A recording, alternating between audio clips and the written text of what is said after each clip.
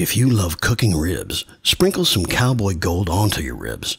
Coat them lightly, as ribs are a thin meat. You don't want to overpower them. Now we'll show you how to coat them with this easy to prepare sauce you can make with cowboy gold.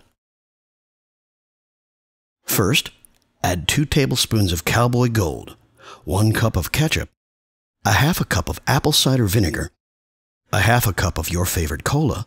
Mix these together and then brush it on your ribs when they're about 15 minutes from being done. Talk about flavor. Cowboy Gold takes ribs to a new level. Order some today at cowboygold.com. We gladly accept all major credit cards through PayPal. A name you can trust with online credit card transactions. I think we need more ribs, son.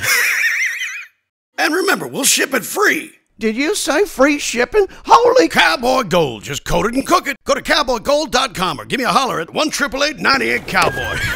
Yeehaw!